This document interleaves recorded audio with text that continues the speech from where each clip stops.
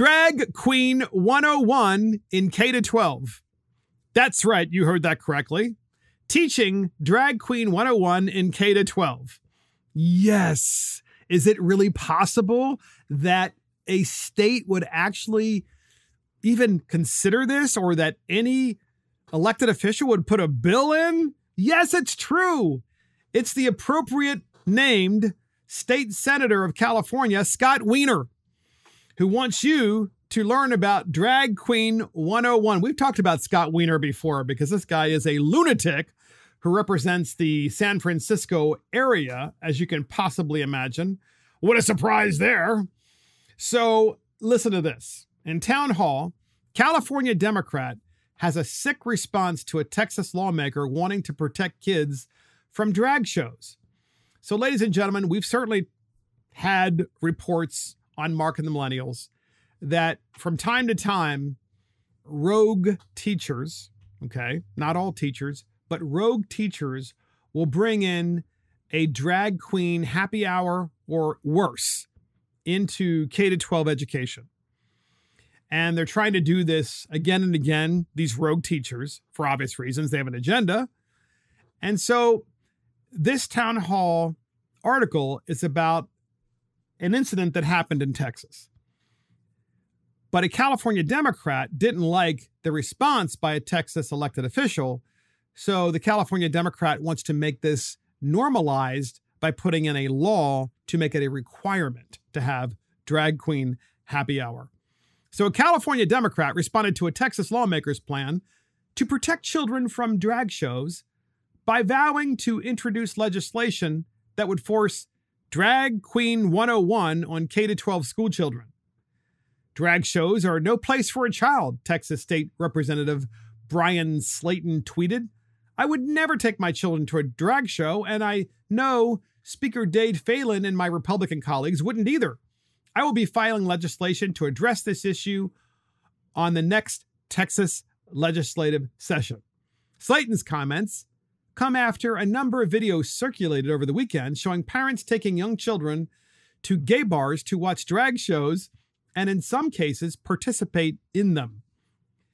Quote, the events of this past weekend were horrifying and show a disturbing trend in which perverted adults are obsessed with sexualizing young children, Slaton said in a statement. You know, we've been saying that for a while on Mark the Millennials, because really that's what this is about. It's about trying to sexualize children. Who does that, right? Who who wants to willingly wreck the innocence of childhood? So California State State Senator Scott Wiener, in response to Slaton's tweet, by saying it gave him an idea for a new piece of legislation. So Scott Wiener is like, well, how dare you say that you're trying to sexualize children by sending them to these kinds of places and watching these kinds of shows? Scott Wiener is like, great, I've got a great idea for a piece of legislation in California. Quote, offering Drag Queen 101 as part of the K 12 curriculum, said Scott Wiener, the gay lawmaker who represents San Francisco.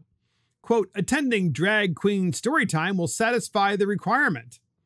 In other words, he wants to make it a requirement. He being Scott Wiener. Can't make this stuff up. While it's unclear whether Wiener is serious about the legislation, ladies and gentlemen, trust me, this guy's serious. We've talked to him about him before. He has introduced radical items in the past, such as SB 145, which would exempt from mandatory registration under the Act a person convicted of certain offenses involving minors if the person is not more than 10 years older than the minor. In other words, this is the same guy, and we talked about this bill, who put a bill in, SB 145, that said it was okay for a 25 year old to have a sexual relationship with a 15 year old, and it would not be considered a criminal matter ever. So, this is who you're dealing with in California. This is what this guy wants. I mean, you should see all of this stuff that's out there on Twitter. So Christopher Rufo tweets out there are three stages of progressivism. Number one, progressives say it's not happening and it's a harmful right wing conspiracy theory. Stage two, it is happening and that it's good that it's happening, And that's what the progressives say. And stage three, the progressives say, we're making it mandatory for your children. Well, literally, that is what is happening in this particular case. So, ladies and gentlemen, we also have proof that this is happening. So, we said the California State Senator Wiener wants to mandate Drag Queen 101 in K 12 curriculum. Um, but there are also situations where parents have taken their kids, and there have been these kinds of events uh, where they take their children. By children, I'm talking about, you know, elementary school, middle school, you know, as young as that. Of course, high school, they're doing it as well.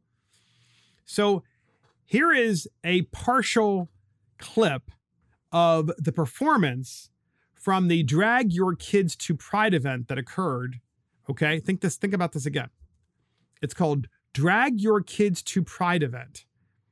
We have a partial clip of this, and the backdrop of this this transgender dude, this guy, basically dancing in obviously hardly any clothing, while children are there, and you can see all the children in the audience. And most of them look very confused. The backdrop says, Gonna lick itself. It's in lights. Gonna lick itself. We have that clip, okay? This is what Scott Wiener wants your kids to see and to participate in. We have the clip, and here it is.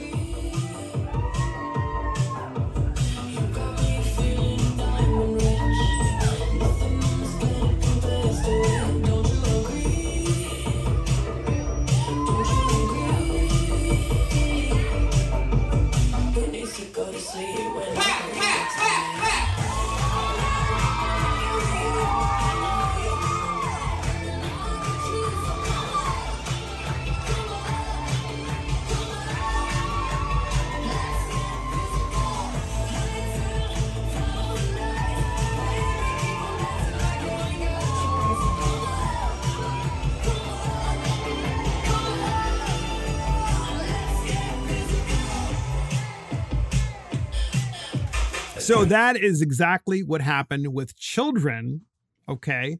Watching this, many of many of whom look completely confused and obviously out of place. It was as risque as it sounded. If you're watching it, you can see it. Um, and the kids are like, what is going on here? And you have this dude who is performing in uh, female clothing, you know, hardly dressed, and this is this is what Scott Wiener wants. Drag Queen 101 in K to 12. And ladies and gentlemen, this kind of nonsense is happening across America. We've said this before on Mark, Mark and the Millennials. Ever since the pandemic started, I believe, and yes, the roots of these things have been in place in K to 12 for many years, and now they're finally implementing it. But ever since the pandemic in particular, I feel like a cloak of darkness has descended upon America, a cloak of evil. I just can't explain it. And I want to make something clear to the Mark and the Millennials listeners, right? Once you're an adult, you know, once you're 18 years of age or older, you can dress any way you want. You can be whoever you want. We don't care on Mark and Millennials. That is your right. But K to 12 education, this is not education, ladies and gentlemen.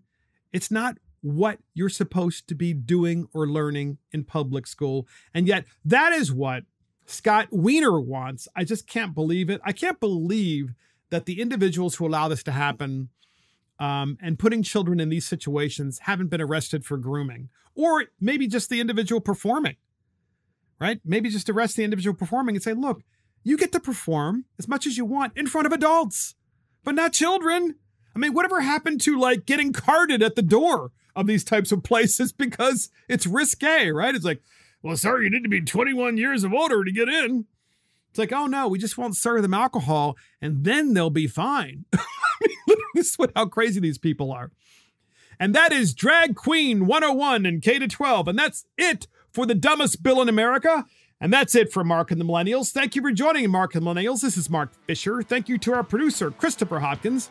Check us out on iTunes, Spotify, YouTube, Facebook, Twitter, Gettr, Truth Social, Rumble, and our website. See you next time.